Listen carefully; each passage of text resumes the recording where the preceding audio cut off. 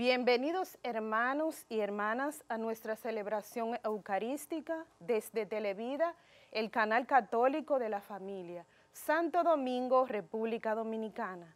Les invitamos a suscribirse a nuestro canal de YouTube como Televida, Canal 41 y en nuestras redes sociales. Intenciones en esta Eucaristía. Nuris Altagracia Luciano. Abel Altagracia Torres de la Cruz en su primer mes, Juan Carlos Díaz de los Santos, Tomás Florentino, Miguel Espinal Taveras, Kenia Correa Concepción. Hoy sábado de la trigésima primera semana del tiempo ordinario, damos gracias a Dios junto al salmista, porque dichoso quien teme al Señor escucha sus mandatos, y la descendencia del justo será bendita. Se nos muestra en estas lecturas la generosidad del Señor con cada uno de nosotros para poder satisfacer nuestras necesidades materiales. Con fe, esperanza y amor nos ponemos de pie para recibir a quien presidirá esta celebración, Reverendo Padre Rino Natal, y su acompañante, diácono Rafael Martínez. Iniciemos nuestra celebración eucarística. Vamos cantando hasta que baje su poder. Vamos cantando hasta que baje su poder, Señor. Gloria a Dios, gloria a Él. Vamos cantando hasta que baje su poder. Se siente aquí, se siente aquí, se siente aquí el Señor, el Espíritu de Dios se siente aquí, gloria a Dios. Si los hombres de la tierra glorifican al Señor, el Espíritu de Dios se siente aquí. En el nombre del Padre y del Hijo y del Espíritu Santo. Amén. La paz, la caridad y la fe de parte de Dios Padre y de Jesucristo el Señor estén con todos ustedes. Y con tu espíritu. Hermanos y hermanas, antes de celebrar esta Eucaristía, reconocemos nuestros pecados y pidiendo perdón a nuestro buen Dios. Yo confieso ante Dios Todopoderoso y ante ustedes, hermanos, he pecado mucho de pensamiento, palabra, obra y omisión. Por mi culpa, por mi culpa, por mi gran culpa. Por eso ruego a Santa María, siempre Virgen, a los ángeles y a los santos, que intercedan por mí ante Dios nuestro Señor. Dios Todopoderoso tenga misericordia de nosotros, perdone nuestros pecados y nos lleve a la vida eterna. Amén. Señor, ten piedad de nosotros. Señor, ten piedad de nosotros. Oh Señor, ten piedad. Cristo, ten piedad de nosotros. Cristo, ten piedad de nosotros. Cristo, ten piedad. Señor, ten piedad de nosotros. Señor, ten piedad de nosotros. Oh Señor, ten piedad, ten piedad.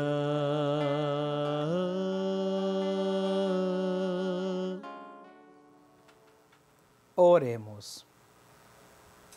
Dios de poder y misericordia, de quien procede el que tus fieles te sirvan digna y meritoriamente, concédenos avanzar sin obstáculos hacia los bienes que nos prometes. Por nuestro Señor Jesucristo, tu Hijo, que vive y reina contigo en la unidad del Espíritu Santo y es Dios por los siglos de los siglos. Amén.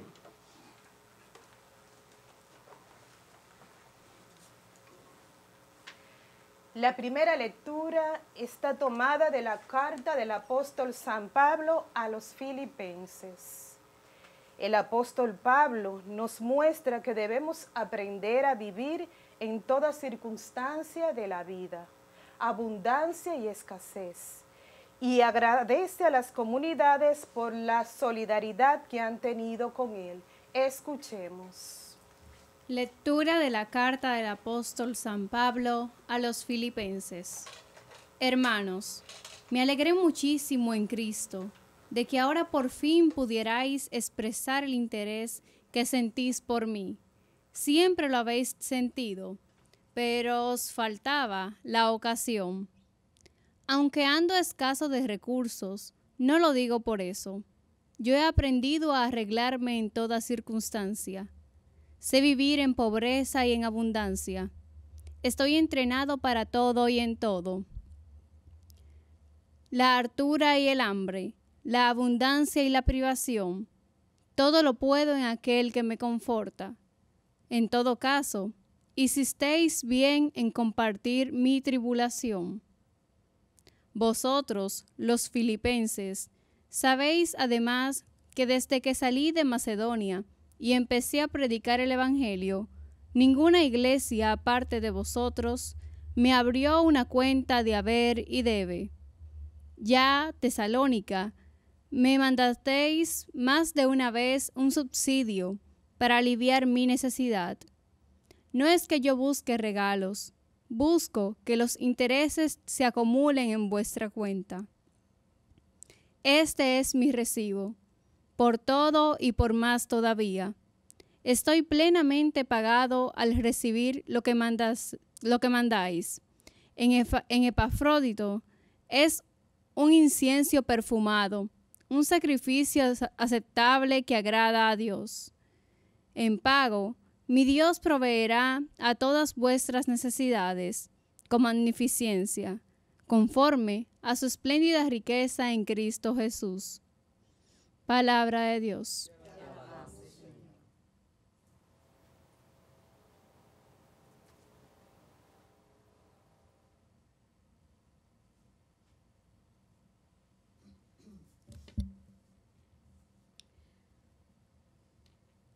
Dichoso quien teme al Señor. Dichoso,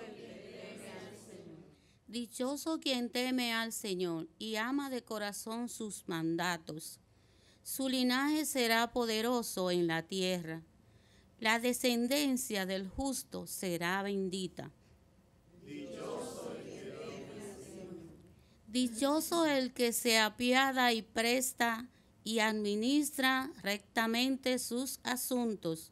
El justo jamás vacilará.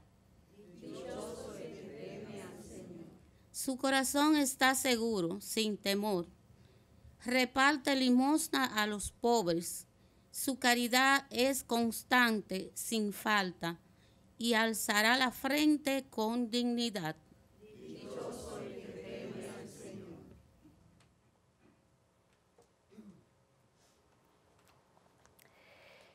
El Santo Evangelio está tomado del evangelista San Lucas. En este Evangelio el Señor nos invita a reflexionar de poner en primer lugar aquellas cosas que son verdaderamente más importantes. Dios y la familia. Lo material, el éxito, la fama quedan en un segundo lugar. Con fe, esperanza y amor nos ponemos de pie para escuchar la proclamación del Santo Evangelio. Dichoso el que confía en su camina en la ley del Señor. Dichoso el que guardando sus preceptos lo busca de todo corazón. Tu palabra me da vida, confío en ti, Señor. Tu palabra es eterna y en ella esperaré. El Señor esté con ustedes. Proclamación del Santo Evangelio según San Lucas.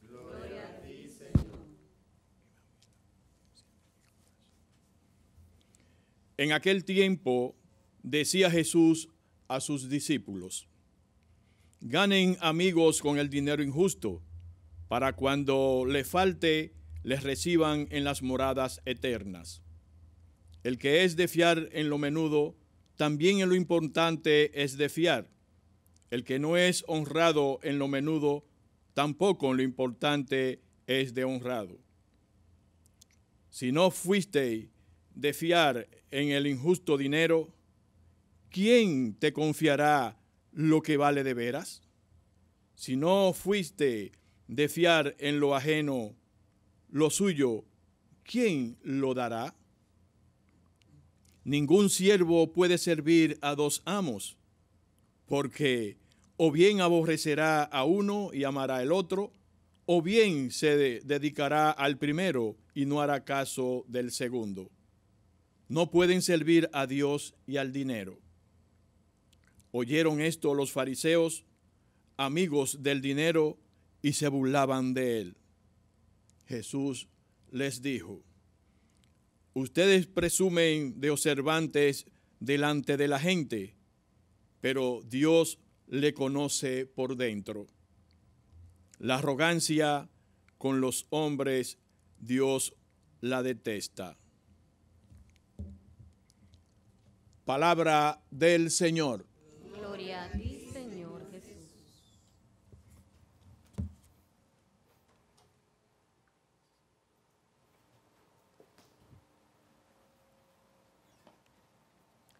Dichoso el que teme al Señor, dice el salmista. ¿Qué es lo que entendemos esta frase? El temor de Dios. ¿Qué significa?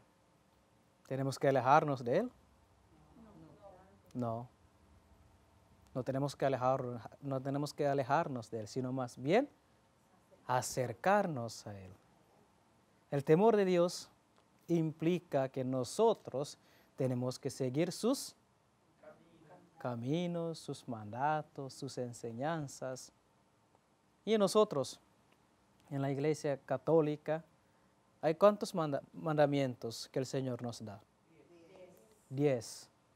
A través de Moisés, Dios nos dejó este diez mandamientos. Y Jesús resume este diez mandamientos, o tantos mandamientos, en solo dos. Amar a Dios y al prójimo. Las personas que temen a Dios practican o poner en práctica estos mandamientos. ¿Por qué? Porque si yo temo a Dios, yo tengo que seguir sus enseñanzas. Yo tengo que adorar a quién? A Dios. ¿Cuál es mi prioridad? Es Dios. Dios. Jesús precisamente habló de eso en el Evangelio de hoy. No podemos tener dos señores, no, no podemos tener dos amos. Dios y el dinero. Pero podemos preguntar, ¿el dinero es malo? No, el dinero no es malo. ¿Cuál es lo malo? La administración. No darle buen uso. ¿Cómo? No darle buen uso. No le da buen uso. ¿Qué más? Lo malo. Lo malo es convertir el dinero en Dios. Dios. Adorando el dinero en vez de adorar a Dios. Entonces, dijo Jesús, tienen que elegir. O sea, Dios nos da la libertad de elegir. ¿Cuál optamos? ¿El, ¿Optamos a Dios o al dinero? Y cada elección de nosotros tiene su consecuencia. Muchas personas hoy en día tienen afán de tener mucho dinero hasta convertir el dinero en Dios. Si le falta el dinero, le falta todo. Pero las personas que tienen Dios en su corazón, aunque no tiene dinero, pero tiene todo. se siente que pues Dios proveerá. Hay dos extremos. Dos extremos. Y estoy seguro que las personas que tienen Dios en su corazón se sienten feliz.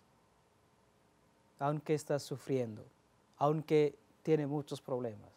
Pero cuando esté Dios, ahí se siente tranquilo, en paz, no tiene afán, no tiene estrés. Pero las personas que no tienen Dios en su corazón, se va a sentirse estrés, se va a sentirse perdido, aunque tiene un montón de dinero, pero cuando no hay Dios, se siente vacío.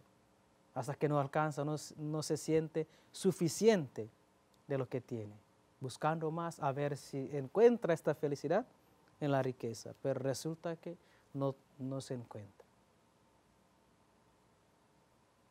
¿Qué es lo que nos invita? Primero hay que tener quién?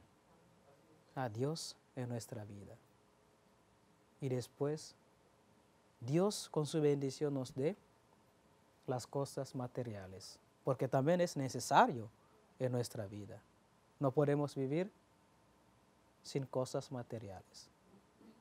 Como ustedes dicen, hay que hacerlo con un buen uso, con un buen corazón para administrar los bienes. Porque, porque si nosotros pensamos en Dios y después pensamos en el dinero, el camino de nosotros es dividido. No sabemos a dónde queremos ir. Es eso que Dios nos invita hoy. Tenemos que tener en cuenta cuál es nuestra prioridad en la vida. Si se sienten tristes, se sienten agobiados, muchos problemas, primero hay que pedir a Dios. Y Dios le dará la solución. Ah, busca a esta persona, busca fulano tal, busca esta cosa material que te ayude. Es decir, nosotros nos invita a seguir a quién? A Jesús, a Dios. ¿Qué es lo que nos dice en la primera lectura de hoy? De San Pablo a los filipenses. ¿Qué nos dice? Ser agradecidos, en resumen, de la solidaridad de los demás, de la ayuda que Dios nos dé a través de los demás. Porque si sabemos o si darnos cuenta o no, hay muchas personas que nos ayuden en nuestra vida. Nos ayuden muchísimo, con algo, con dinero, con las cosas materiales. ¿Por qué? Porque Dios envía a esas personas para ayudarnos. Y nosotros, ¿qué es lo que hacemos? Agradecer, como hizo Pablo. Gracias por el apoyo que ustedes me den en, a lo largo de mi vida. Es agradecer. No podemos olvidar la bondad de quién? De Dios, a través de estas personas. Eso es lo importante en nuestra vida. Y podemos preguntarnos, ¿yo soy una persona agradecida con los demás que me han ayudado? O simplemente cuando yo recibo, chao, no me siento eh, la obligación de agradecer esa persona, agradecer a esta persona. En la familia, por ejemplo, cuando los papás nos ayuden también, como hijos sentimos agradecidos o no. O como papás también, cuando los hijos nos, nos ayuden, decimos gracias hijos, gracias por la ayuda, por ser solidario con nosotros. Eso es lo que nos invita a agradecer a Dios, porque Dios nos manda a esas personas, buenas personas alrededor de nuestra vida. Vamos en este día a pedir el don de siempre ser agradecidos con Dios y con los demás que nos ayuden. Y es el don también de poner a Dios en primer lugar, poner a Dios como centro de nuestra vida y valorar las cosas materiales, los bienes que Dios nos ha dado en nuestra vida. Porque, porque todo eso es una bendición de quién? De Dios. De Dios. Gloria al Padre, y al Hijo, y al Espíritu Santo, como era en el principio, ahora y siempre, por los siglos de los siglos. Amén. Vamos a ponernos de pie. Vamos a presentar nuestras plegarias, nuestra oración a Dios nuestro Padre, Dios de bondad, Dios de misericordia.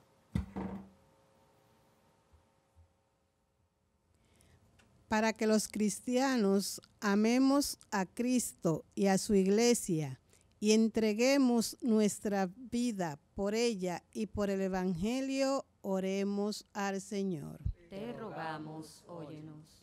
Para que con apertura y docilidad al Espíritu Santo, el Papa y los obispos disciernan los caminos, opciones y compromisos que viene a asumir para realizar una transformación evangélica de nuestra sociedad y sus estructuras, oremos al Señor. Te rogamos, óyenos.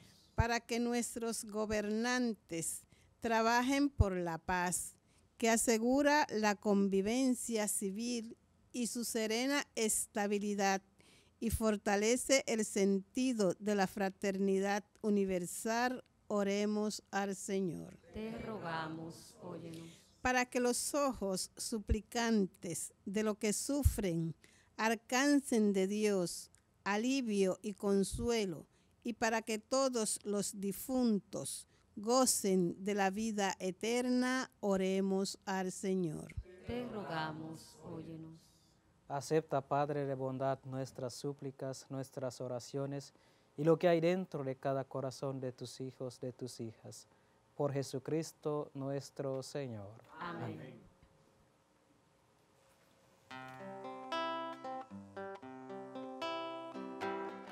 Pongo en tus manos las penas y el dolor,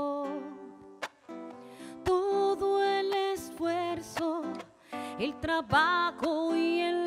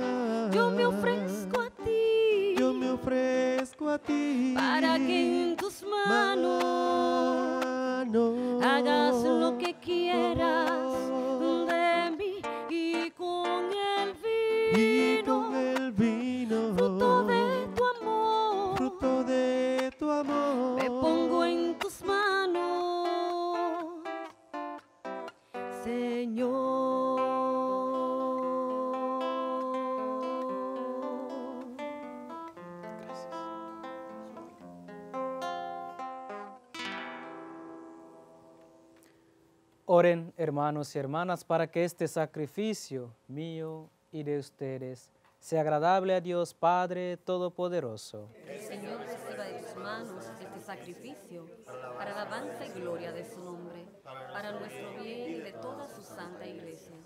Que este sacrificio, Señor, sea para ti una ofrenda pura y para nosotros una efusión santa de tu misericordia. Por Jesucristo nuestro Señor. Amén. El Señor esté con ustedes. Y con tu espíritu Levantemos el corazón. lo tenemos levantado hacia el Señor. Demos gracias al Señor nuestro Dios. Es justo y necesario. En verdad es justo y necesario, es nuestro deber y salvación darte gracias, Padre Santo, siempre y en todo lugar, por Jesucristo, tu Hijo amado. Por Él, que es tu verbo, hiciste todas las cosas, tú nos lo enviaste, para que hecho hombre por obra del Espíritu Santo y nacido de María la Virgen, fuera nuestro Salvador y Redentor. Él, en cumplimiento de tu voluntad para destruir la muerte y manifestar la resurrección, extendió sus brazos en la cruz y así adquirió para ti un pueblo santo. Por eso con los ángeles y con todos los santos proclamamos tu gloria cantando a una sola voz.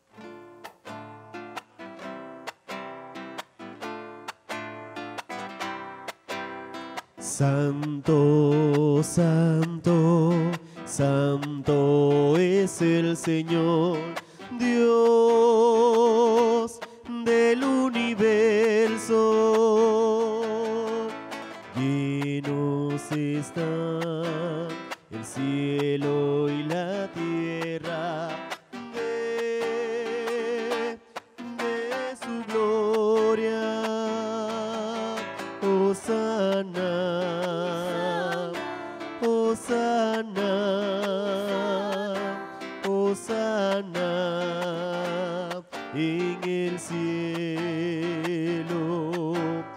Hosanna, Hosanna.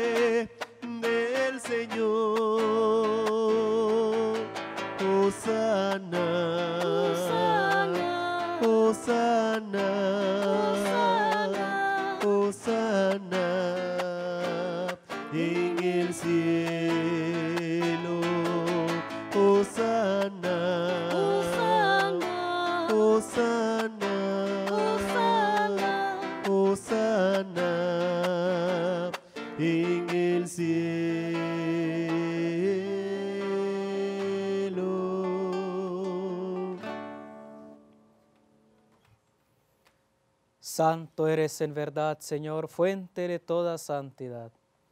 Por eso te pedimos que santifiques estos dones con la efusión de tu Espíritu, de manera que se conviertan para nosotros en el cuerpo y la sangre de Jesucristo nuestro Señor, el cual, cuando iba a ser entregado a su pasión voluntariamente aceptada, tomó pan, dándote gracias, lo partió y lo dio a sus discípulos, diciendo, tomen y coman todos de él, porque esto es mi cuerpo que será entregado por ustedes. Señor mío y Dios mío, creo en ti y te adoro. Bendito y alabado seas por siempre, Señor. Gloria, alabanza, santo, santo, santo, alabado seas por siempre, Cristo.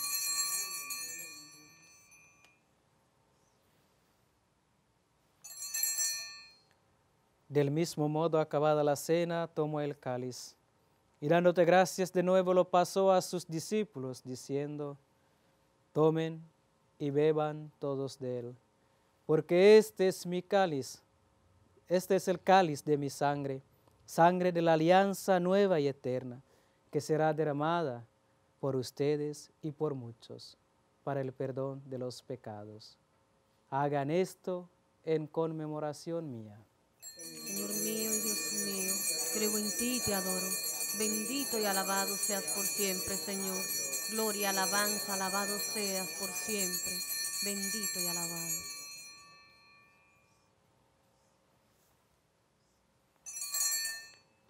Este es el sacramento de nuestra fe. Anunciamos tu muerte, proclamamos tu resurrección. Ven, Señor Jesús. Así pues, Padre, al celebrar ahora el memorial de la muerte y resurrección de tu Hijo, te ofrecemos el pan de vida y el cáliz de salvación. Y te damos gracias porque nos haces dignos de servirte en tu presencia. Te pedimos humildemente que el Espíritu Santo congregue en la unidad a cuantos participamos del cuerpo y la sangre de Cristo. Acuérdate, Señor, de tu iglesia extendida por toda la tierra, y con el Papa Francisco, con nuestro obispo Francisco Soria, y todos los pastores que cuidan de tu pueblo, llévala a su perfección por la caridad. Acuérdate también de nuestros hermanos que durmieron en la esperanza de la resurrección y de todos los que han muerto en tu misericordia. Admítelos a contemplar la luz de tu rostro. Ten misericordia de todos nosotros. Ten misericordia de estos hijos e hijas tuyas aquí presentes y los que participen desde sus casas.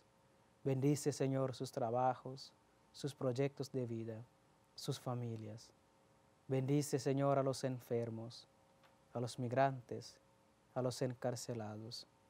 Y así con María la Virgen, Madre de Dios, San José, los apóstoles y cuantos vivieron en tu amistad a través de los tiempos, merezcamos, por Jesucristo, compartir la vida eterna y cantar tus alabanzas. Por Cristo, con Él y en Él. A ti Dios Padre Omnipotente, en la unidad del Espíritu Santo, todo honor y toda gloria por los siglos de los siglos. Amén. Llenos de fe, de esperanza, vamos a dirigir nuestras oraciones a nuestro Dios Padre con la oración que Cristo nos enseñó.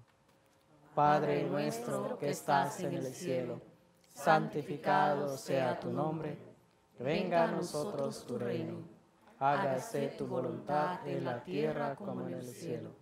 Danos hoy nuestro pan de cada día, perdona nuestras ofensas, como también nosotros perdonamos a los que nos ofenden.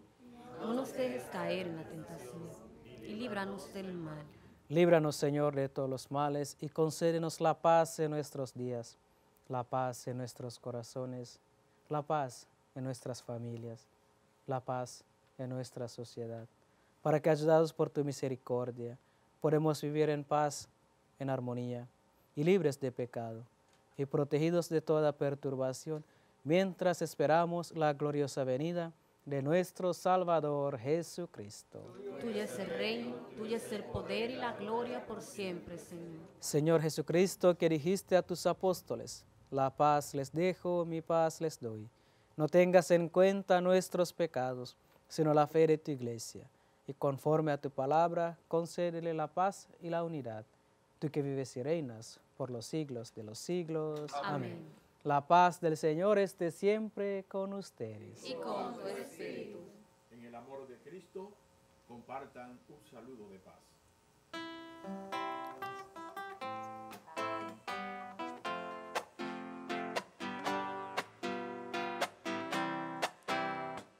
Cordero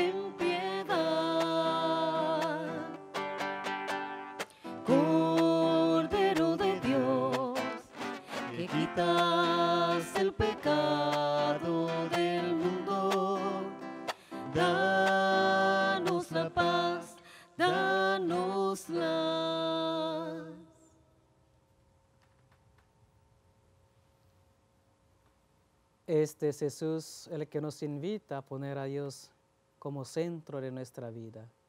Él es el Cordero de Dios, el que quita el pecado del mundo. Dichosos los invitados al banquete del Señor. Señor, no soy digna de que entres a mi casa, pero una palabra tuya bastará para sanarme.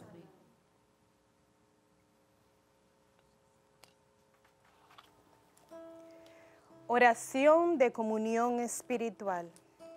En este momento de comunión, invitamos a las personas que no pueden recibir este sacramento a realizar una comunión espiritual diciendo, Señor mío, creo que estás presente en el santísimo sacramento del altar.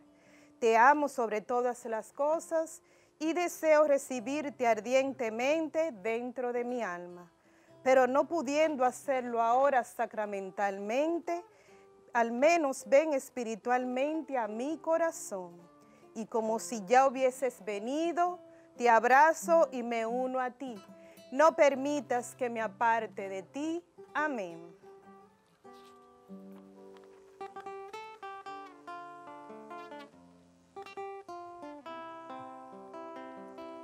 Jesús, Jesús, ¿cuál es tu misterio? Señor Jesús, Jesús, Jesús, ¿cuál es tu misterio? Señor Jesús que cuando me miras, tu fuego me quema que cuando me hablas, escucho tu voz, que cuando tus manos a mí me tocan, me devuelven la vida y siento tu amor. Ay, ay, ay,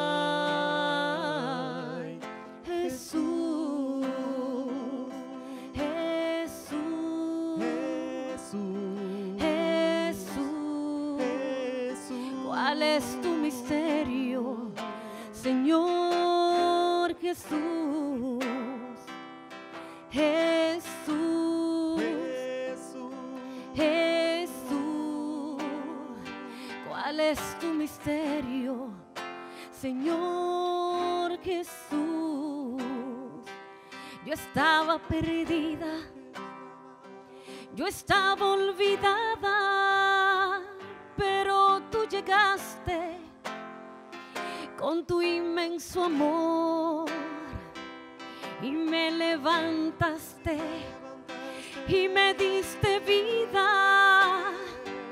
Por eso te alabo, mi dulce Señor. Ay, ay, ay,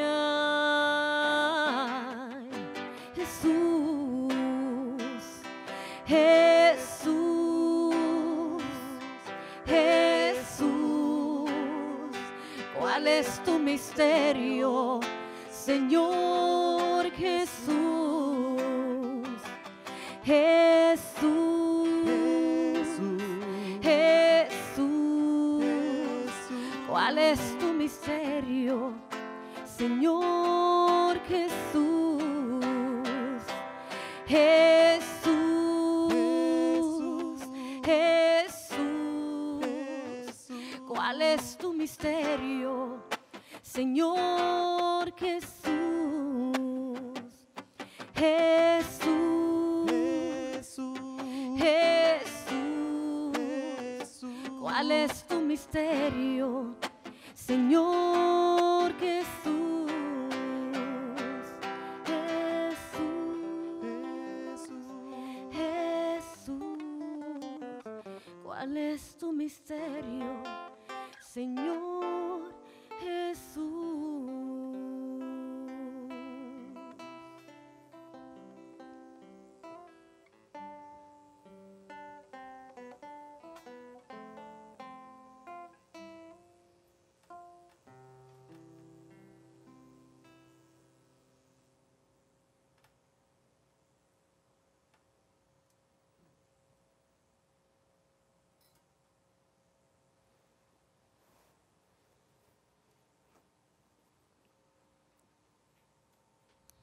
Oremos.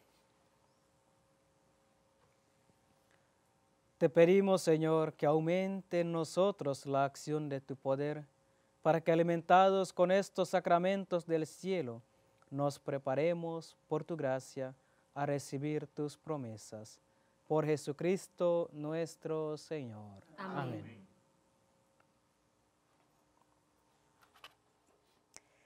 Llegando a la parte final, agradecer a todos los hermanos presentes y a los que desde sus casas nos acompañan. Gracias por el favor de su sintonía. Al Padre Rino Natal y al diácono Rafael Martínez por aceptar nuestra invitación. A los proclamadores de la palabra, al Ministerio de Música Mercedarios Descalzos y al equipo gestor de esta Eucaristía y demás colaboradores del canal. Nos preparamos para recibir la bendición final. Antes de la bendición final, vamos a poner nuestras vidas, nuestras familias, la vida de los enfermos en las manos de nuestra Madre, la Virgen María, diciendo, Dios te salve María, llena eres de gracia. El Señor es contigo, bendita eres entre todas las mujeres, y bendito es el fruto de tu vientre Jesús. Santa María, Madre de Dios, ruega por nosotros pecadores, ahora y en la hora de nuestra muerte. Amén. Nuestra Señora de las Mercedes, Ruega por nosotros. Nuestra Señora de la Altagracia, Ruega por nosotros. el Señor esté con Y ustedes. con tu espíritu. Y que la bendición de Dios misericordioso, el Padre y el Hijo y el Espíritu Santo descienda sobre ustedes y permanezca para siempre. Amén. Con alegría y gozo pueden ir en paz. Demos Gracias a Dios.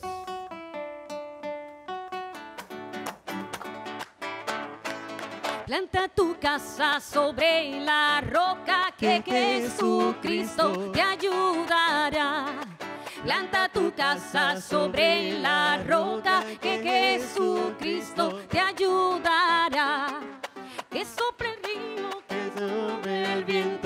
pero tu casa no se caerá. Que venga el río, que sople el viento, pero tu casa no se caerá. Planta tu casa sobre la roca